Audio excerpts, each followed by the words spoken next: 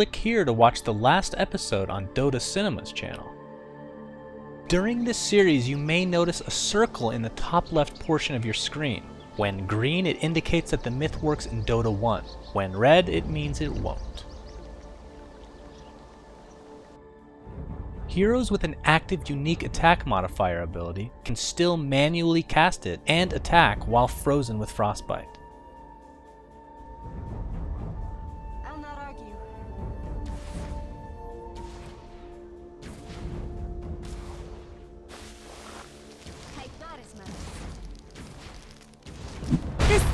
Can't be happening. Remember that frostbitten units cannot attack but can cast spells. As a result, manually casting a unique attack modifier will work since it is counted as a spell. Other examples of this mechanic include Burning Spears, Glaives of Wisdom, Arcane Orb, Searing Arrows, Poison Attack, and Impetus.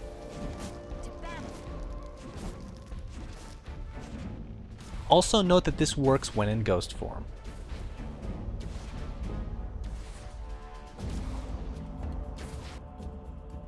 Dazzle's ultimate ability, Weave, cannot be purged.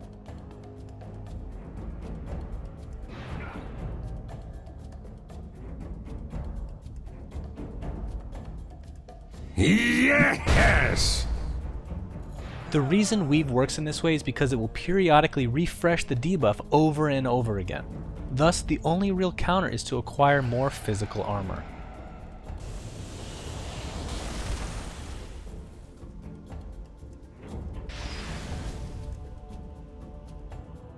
You can teleport to Undying's tombstone.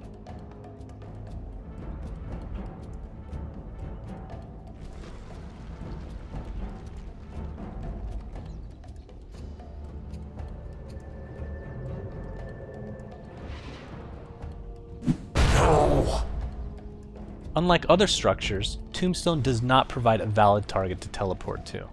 Spawn zombies, however, do count as viable targets.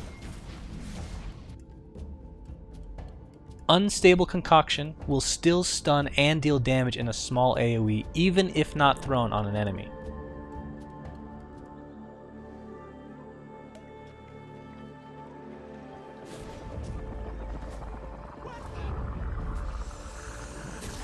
Didn't you hear me telling you to throw it?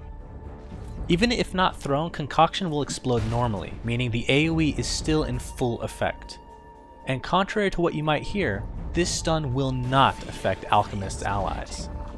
This mechanic can actually save you at times, acting as a defense mechanism against melee silencing heroes such as Night Stalker or Bloodseeker. Chen and Rubick can steal the same creep to increase its HP infinitely.